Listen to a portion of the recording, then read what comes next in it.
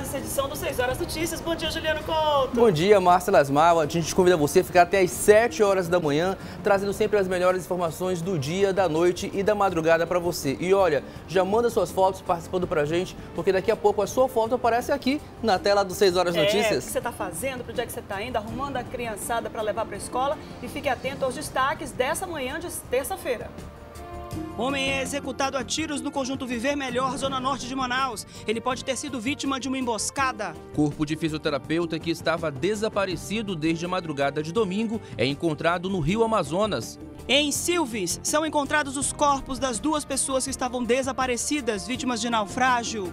30 dias de greve dos professores e o governador do estado fala sobre as propostas do governo para a categoria. Manauara festeja o dia de Nossa Senhora de Fátima com procissão e missa. Fique atento às oportunidades de emprego no Amazonas, no nosso balcão de empregos. Manauara, de 15 anos, começa a fazer natação para melhorar o rendimento na escola e na vida. É o esporte ensinando a concentração e a disciplina. Isso e muito mais você acompanha a partir de agora no 6 Horas Notícias, que já começou.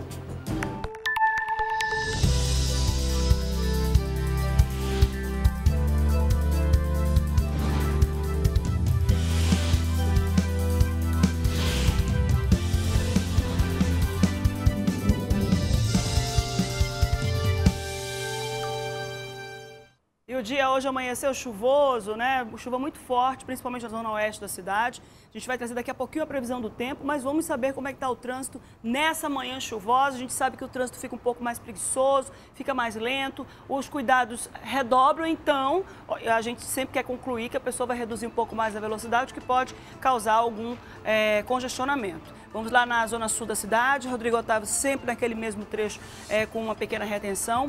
Ali na, no residencial Efigênio Salles, olha, a gente está vendo essa pequena, na rua Efigênio Salles, a gente acompanha aqui essa retenção naquela saída ali, entrando no Coroado, tem um desvio na Governador Lindoso, a gente vê que tem um desvio, um afunilamento para poder pegar a Efigênio Salles e a gente está vendo que a Governador Lindoso, José Lindoso, está com uma pequena retenção só nesse trecho de chegada ali na Cosme Ferreira.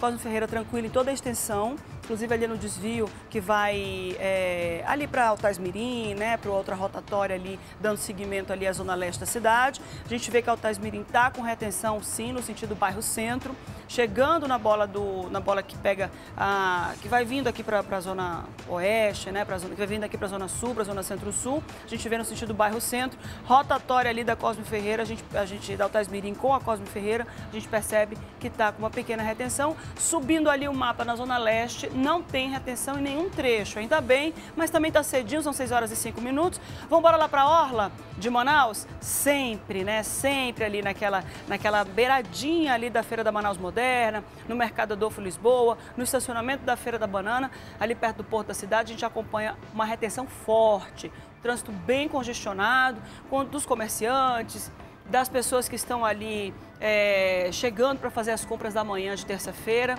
Aí a gente está conferindo aí que está com o trânsito bem carregado. É a Maripiranga, essa avenida, essa rua aqui, é, é Manu? Ah, sim, a Meixa Pema vai entrar ao vivo da Maripiranga. Rapidamente, vamos embora lá na Humberto Calderaro. Sobe aí, vamos embora para Humberto Calderaro. A gente está vendo que a Humberto Calderaro está com, com, retenção? Não, não está com retenção. Ainda bem, mas a Teresina está com uma retenção um pouquinho forte ali embaixo, você confere. Meixa Pema está pronta, vai entrar ao vivo trazendo as informações do trânsito para a gente, lá da Piranga, ela que está lá e vai trazer as informações. A gente tem imagens do cinegrafista que está com ela, com o Davis Alberto. Coloca no ar para mim as imagens lá da Piranga. Pista bem, bem molhada. A gente vê, é o, é o Rui que está com ela? Rui Mendes, que está voltando das férias hoje, está com ela nesse momento. A gente vê a Maripiranga bem é, molhada, a pista, mas com o trânsito fluindo. Tranquilo, o trânsito está tranquilinho. A gente vê essas primeiras horas da manhã de sexta-feira, de terça-feira. Está vendo que os carros estão indo com calma, os ônibus, o ônibus vindo ali, ó, o transporte coletivo. Atenção, motorista, cobrador, muito cuidado na pista, muito cuidado no trânsito. Condutor dos veículos ali de passeio também, muito cuidado. Mas a gente vê que o trânsito está bem devagar, ainda bem, sem congestionamento.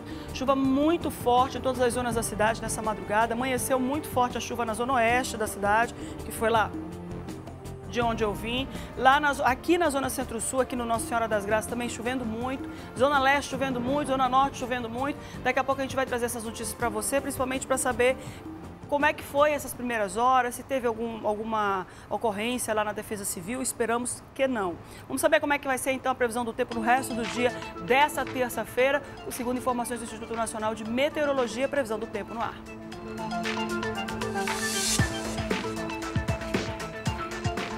Manaus, vamos lá Manaus, Manaus, Manaus segue com chuva, pancadas de chuva, tempo nublado, a mínima de 26 e a máxima de 31 graus. Presidente Figueiredo, muita tempestade, tá? Presidente Figueiredo com característica de tempestade, mínima 23, máxima 32 graus, muita chuva. Silves também, ó, com muita chuva, com tempestade, raios e trovoadas, trovoadas e, e, e raios a gente acompanha lá em Presidente Figueiredo e Silves. Em Silves, mínima 24, máxima 31 graus. Manicoré também com pancadas de chuva, tempo nublado, mínima 24, máxima 33 graus. Então a gente acompanha que está com uma chuva, está com Manaus inteiro, o Amazonas todo é, vai trazer muita chuva. A gente está acompanhando aí as, as primeiras informações do Instituto Nacional de Meteorologia. Que bom. E hoje de madrugada teve bastante chuva na cidade, né? Foi. Eu vim para cá já. Teu lado? Choveu bastante, é vim dirigindo Zona Norte. Zona Norte, chuva. A, Muita chuva. A nossa Manu ali mora na Zona Leste também com chuva, eu vim da Zona Oeste com chuva. E a gente já conclui aí que toda a cidade estava bem chuvosa. E olha só, a gente vai trazer agora uma situação que foi uma solicitação de moradores lá da Zona Norte de Manaus também. São moradores do bairro Nossa Senhora de Fátima 2, que fica ali próximo já ao Terminal 4. E aí a gente tem as imagens para mostrar. É, foi uma rua ali, a rua Patativas, né? Há mais ou menos dois meses a prefeitura chegou a fazer um trabalho de recapeamento da, da rua, né? Da, da rua Patativas, lá no Senhora de Fátima 2. E aí acabou que alguns bueiros, Márcia, acabaram ficando abertos aí. A nossa produção vai tentar entrar em contato com a prefeitura, com a Secretaria Municipal de Obras para ver o que, que, pode ser feito aí nesse local, né? Até porque quando chove, por exemplo, os moradores estavam falando que algumas casas alagam por conta do grande excesso do volume de água. E é perigoso também uma criança de repente cai aí, né? Não, e a gente já teve casos assim de crianças caíram em bueiro e foram sair, foram os corpos dessas crianças foram encontrados já lá no Igarapé do Mindu, um exemplo muito claro disso nós trazemos, trouxemos para você várias vezes aqui, várias ocorrências, e a gente está vendo aí que isso é um perigo. Nesse esse bueiro está entupido, acaba acumulando um grande volume de água, porque não tem para onde escoar, porque está entupido o bueiro, sem tampa, ou seja, o serviço foi feito, mas não foi concluído e a falta de conclusão de serviço acaba trazendo prejuízo para a comunidade. Né, Exatamente, né, isso é muito perigoso, a gente vai entrar em contato, nossa produção vai entrar em contato. Obrigado pela solicitação dos moradores lá do Nossa Senhora de Fátima 2. Um grande abraço a todos vocês acompanhando 6 Horas Notícias e em breve a gente vai dar aqui a resposta para vocês. E olha só, vou te convidar agora para assistir uma matéria junto com a gente. É, eu estive acompanhando a situação dos lixos clandestinos que acontecem na Sim. cidade de Manaus. A gente sempre tem mostrado aqui no 6 Sim. Horas Notícias. E aí ontem teve uma grande reunião com vários órgãos integrados lá na Suframa. E aí a gente vai mostrar essa reportagem agora para mostrar que, inclusive, até a Prefeitura de Manaus, que entrou na briga agora, quer ter poder de polícia para poder atuar nessa situação. Vamos conferir. Em um curto espaço de tempo, as empresas no Amazonas devem produzir materiais cada vez menos poluentes e que possam ser reaproveitáveis. A proposta foi apresentada na sede da Suframa, em Manaus, pelo Ministério Público Federal, depois de várias denúncias de lixeiras e aterros clandestinos na capital. O Ministério Público Federal disse que está acompanhando a situação de vários aterros clandestinos que surgiram na cidade de Manaus nos últimos anos. Inclusive, as empresas geradoras desses resíduos podem ser responsabilizadas pelos destinos inadequados dos seus materiais. Existem diversas investigações em curso, diversas investigações em curso, ações judiciais, cíveis e criminais, condenações proferidas pela Justiça Federal, que, que atualmente tem focado apenas em quem é, eventualmente organiza esses aterros clandestinos. Isso é, pode ser aprimorado, pode ser é, estimulado, mas é necessário que haja a devida, o devido engajamento preventivo daqueles que contratam esses aterros clandestinos, porque os aterros só existem a partir, de, a partir do momento em que uma empresa produtora, enfim, alguém destina os seus resíduos de forma inadequada para esses aterros que vão estar é, contaminando igarapés de Manaus, é, causando desmatamento não autorizado. Enfim, tem uma série de danos que quem sente é a população poluição atmosférica. Então isso é, é objeto realmente de um devido acompanhamento e nesse sentido a responsabilização é uma, é uma das linhas de atuação. A situação dos aterros poluidores também é acompanhada pelo Ministério Público de Contas do Estado. O público de contas se alia ao Ministério Público Federal, ao Tribunal de Contas e outros atores para cobrar um cumprimento da Lei 12.305 do Plano Nacional de Resíduos Sólidos, para cuja efetividade concorrem a sociedade, a indústria, o comércio e os atores públicos. Todos devem seguir um princípio de cooperação e corresponsabilidade pelos resíduos. As investigações no Ministério Público Estadual também estão em andamento. Doutora, como é que ficam as questões de anda... os andamentos de investigações que já existem hoje no Ministério Público em relação aos aterros clandestinos? Eu sei que muitas vezes chegam através de é, denúncias da própria população, que são as notícias de fato que o Ministério Público chama, né? Como é que está o andamento dessas investigações? Nós temos uma série de ações civis públicas propostas com o desiderato né, desse controle, mas é, isso tudo é muito lento. Você trabalha aí na perspectiva de solução e que a essa solução vem através de diversos setores também com, a, com, os quais a justiça trabalha. Então, nós, nós muitas vezes precisamos de perícias que são necessárias para que essas ações tramitem né, na, na forma indicada pela legislação e isso é muito lento. O resultado acaba ficando muito aquém do desejado por conta dessa necessidade aí de diligências, de perícias que envolve uma estrutura que muitas vezes as instituições e o próprio judiciário não têm. Pelo menos 50 empresas já devem receber o acompanhamento na destinação final dos resíduos gerados. A destinação final dos resíduos, que não é hoje, já não é mais o ideal, a questão dos aterros sanitários, mas é o que nós possuímos é, em mãos para que possamos minimizar uh, os problemas de saúde pública que nós temos, que é decorrente, inclusive muitas vezes, dos processos de destinação incorreta dos resíduos sólidos. Várias doenças, os vetores dessas doenças estão nos lixões, ratos, baratas, insetos, e além da produção do chorume, que faz com que uh, amplie bastante uh, lá na ponta a questão da doença diretamente em toda a população. O superintendente da Suframa disse que não vai admitir que empresas do polo industrial de Manaus tenham os nomes vinculados à poluição do meio ambiente. É a primeira vez no estado do Amazonas em que nós colocamos todos os atores envolvidos nesse tema tão importante chamado logística reversa para discutir o problema conjuntamente. Isso é uma tônica que nós vamos levar e conduzir na Suframa durante a nossa gestão, buscando sempre esperança, buscando sempre união, na busca dessa solução conjunta. Aqui hoje nós temos mais de 60 entidades, empresas buscando essa solução. A Prefeitura de Manaus em entrou na briga e quer dar mais poder à Secretaria Municipal de Limpeza Pública. O próprio secretário disse que dessa forma a fiscalização vai ser mais eficiente. Os infratores podem ser autuados e até presos. Nós estamos com um pedido na Câmara de Vereadores para que a CEMUSP passe a ter poder de polícia administrativa, que é algo que nós não temos, não é? E acho que vamos conseguir e aí poderemos então atuar com mais efetividade nessa matéria. As denúncias mostradas com exclusividade pela TV em Tempo de empresas coletoras que depositam resíduos perigosos, como lixo hospitalar, em aterros clandestinos, têm repercutido nos órgãos ambientais e também no poder legislativo. O poder público agora fecha o cerco diante desses crimes ambientais.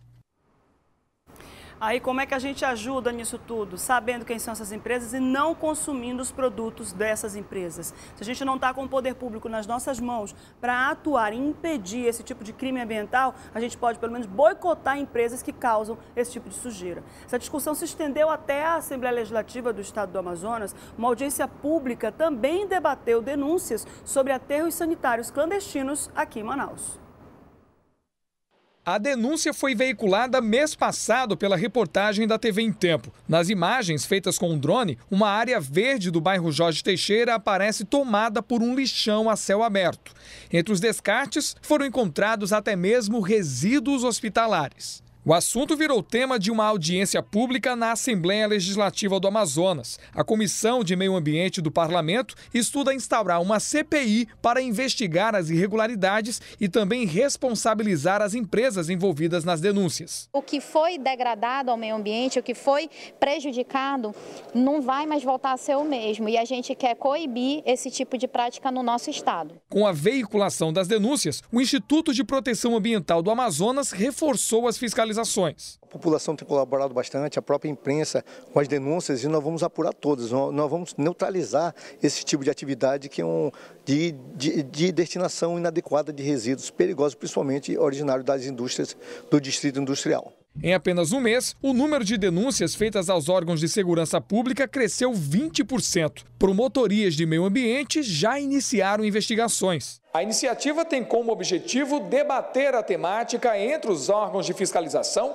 e cobrar soluções do poder público. Durante todo o ano passado, a Secretaria Municipal de Serviços Públicos gastou aproximadamente 230 milhões de reais com a coleta e com a destinação final de resíduos sólidos.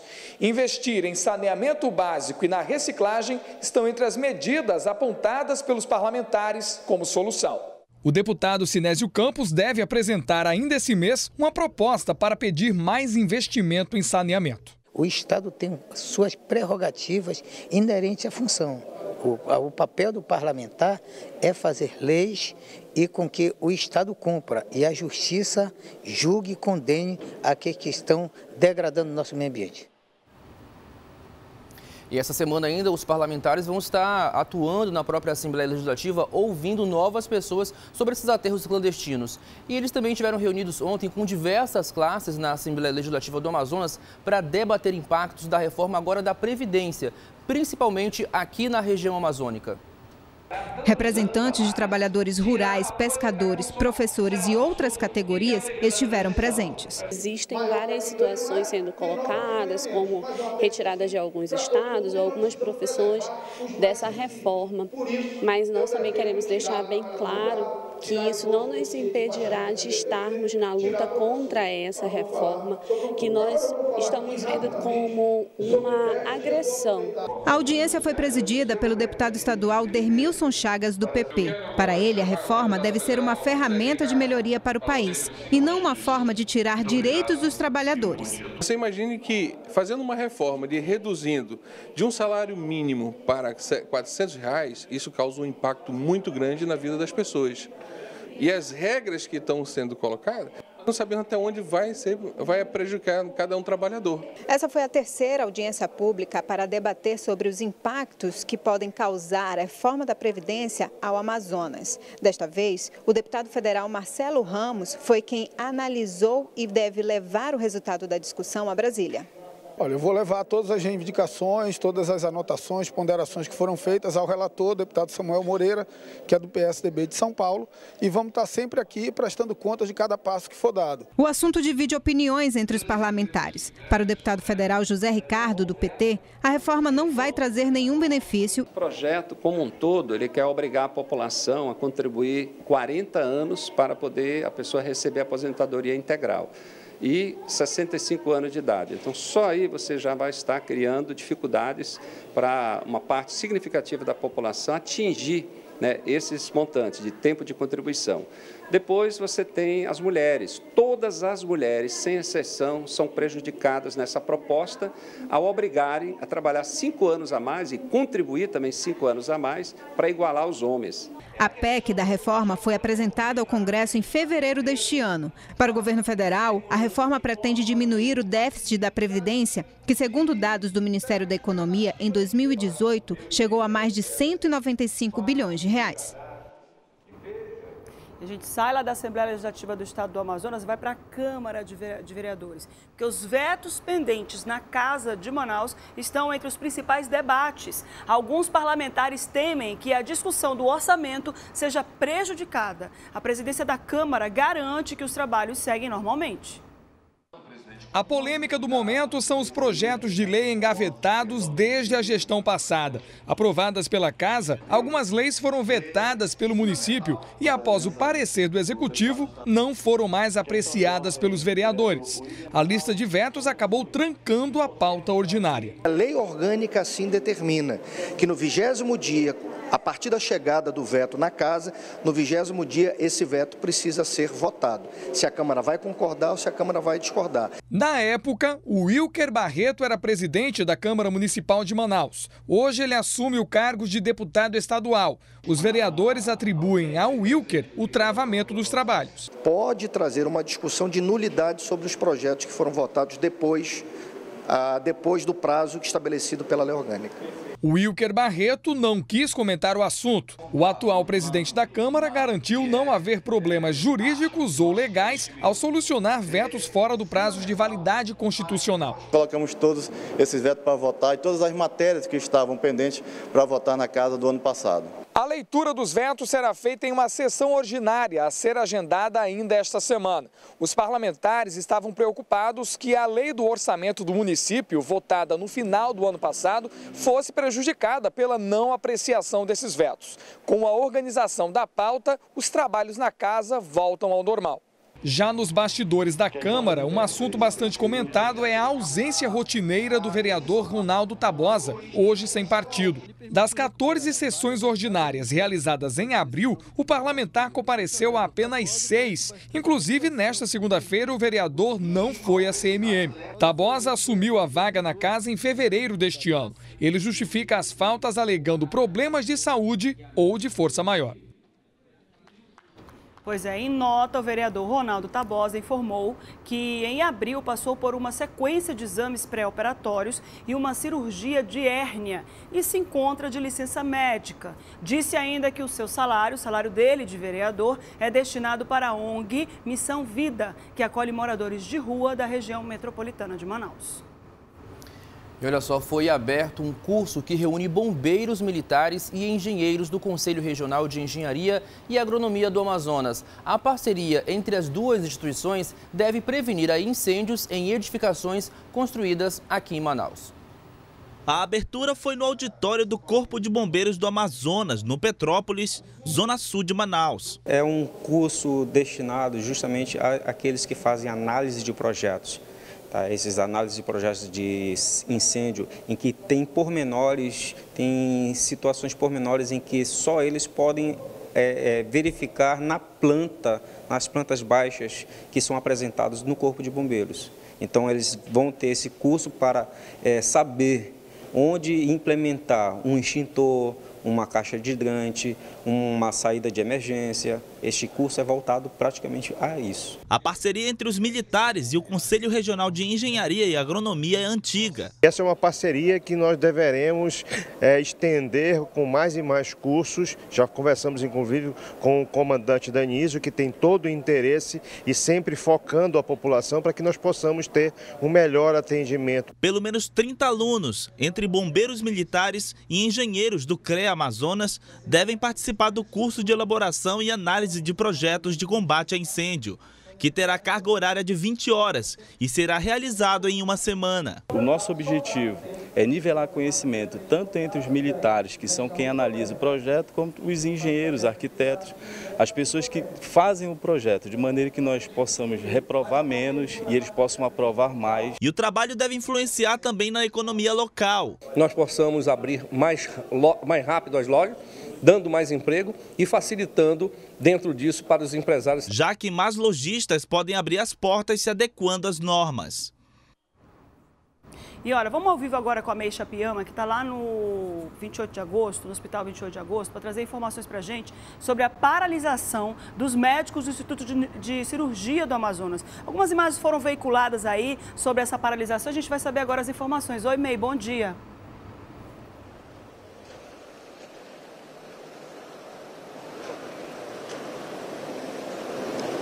Bom dia, Márcia, Juliano, bom dia a todos que acompanham os 6 horas notícias. É isso mesmo, essa paralisação começou às 7 horas da noite desta segunda-feira. Os médicos do Instituto de Cirurgia do Estado, que prestam serviços ao governo do Estado, suspenderam os procedimentos médicos aqui no Hospital e Pronto Socorro 28 de agosto, as cirurgias eletivas e em todos os SPAs. As cirurgias eletivas no Adriano Jorge que estavam marcadas para hoje serão feitas em respeito aos pacientes, porque essas cirurgias cirurgias já estavam marcadas e eles já estavam internados na unidade hospitalar. O motivo dessa paralisação novamente é o atraso no pagamento das obrigações financeiras dos médicos. Segundo os profissionais, eles não receberam os meses de outubro, novembro e março, mesmo eles tendo enviado a documentação solicitada pelo governo, eles não receberam nada de pagamento. Eles disseram ainda que caso o pagamento não ocorra até o último dia útil do fim do mês, eles vão tomar outras medidas é, em relação às outras unidades hospitalares aqui da capital. Nós vamos acompanhar, Márcia, continuar acompanhando essa paralisação dos médicos e a gente espera que essa situação seja resolvida, porque o que não pode é a saúde ficar desse jeito. Muitos pacientes à espera de cirurgias e a situação ficar do jeito que está. Mas todas as informações nós traremos durante as nossas programações. Márcia, eu volto com você. Obrigada, Mei Chapiama. Mais uma vez a gente vê essa problemática da saúde no estado. A gente sabe que a segurança está com problema, a saúde está com problema. E agora a gente está vendo aí, infelizmente, os médicos paralisando as atividades porque estão pelo menos há três meses sem receber. As cirurgias eletivas é aquela cirurgia programada, aquela cirurgia que você faz lá os exames pré-operatórios, não está correndo risco de morte, você programa a cirurgia e realiza a cirurgia. Obviamente, os médicos têm a responsabilidade com a vida. Alguns médicos devem estar trabalhando nas emergências, nas urgências e emergências. Mas, mais uma dor de cabeça para o governador trabalhar hoje, além da paralisação dos professores, que segue há quase 30 dias, né? É, então... Teve algumas imagens na rede social que também viralizou, né? Mostrando o 28 de agosto vazio, sem atendimento. E eu acho que é exatamente essa situação que a MEI trouxe exatamente. aí, né? Exatamente. Nós vimos nas redes sociais, nas nossas redes sociais, quem está em casa também deve ter visto. Infelizmente, os médicos fora dos postos de serviço, né? A gente vai trazer agora uma informação com a Gabriela Moreno, Juliano Couto, a, respeito do INSS. O INSS está modificando algumas, alguns atendimentos, estão sendo muito restritos a 135 ou ao site, e a gente vai saber quais são esses atendimentos agora. É isso mesmo, a partir de agora, o Instituto Nacional do Seguro Social, o INSS, vai disponibilizar serviços de revisão, recursos e cópia de processos somente pelo portal Meu INSS ou pelo número 135. Pelo portal é possível acessar vários outros serviços, além de atualizar dados como endereço e telefone. Estes serviços representam uma média de mais de 70 mil atendimentos presenciais por mês e agora poderão ser feitos sem sair de casa. Márcia, Juliano, volto com vocês. Obrigado. Olha só, agora são 6 horas e 30 minutos e a gente quer a participação de você de casa também. Manda sua foto para mostrar que você está acordado acompanhando 6 Horas Notícias comigo, Juliano Couto e Márcia Lasmar. A gente volta daqui a pouquinho, eu quero ver sua foto. Manda para cá, para você tá arrumando a criança para a escola, tá indo para o trabalho. Quem já está no trabalho, que tem plantão que começa às 6 horas, tem plantão que começa às 7, tem muita gente aí da segurança que já está trabalhando há muito tempo, já virou o plantão, já está lá Verdade. assumindo o posto do dia. Então manda a foto para a gente que a gente está aqui ansioso para ver você. É isso aí. Além de foto, você pode mandar vídeo também, tá? De 15 segundos, 30 segundos no, máximo, mostrando que você está indo para a escola, levando os filhos ou indo para o trabalho, tá certo? A gente vai aguardar aqui, daqui a pouco a gente mostra no telão. Não esquece de deitar o celular. Exatamente, celular deitadinho. Agora a gente vai com imagens ao vivo lá da Mário Ipiranga Monteiro. A gente vai para um breve intervalo comercial e na sequência a gente volta com mais informações para você. Não sai daí não.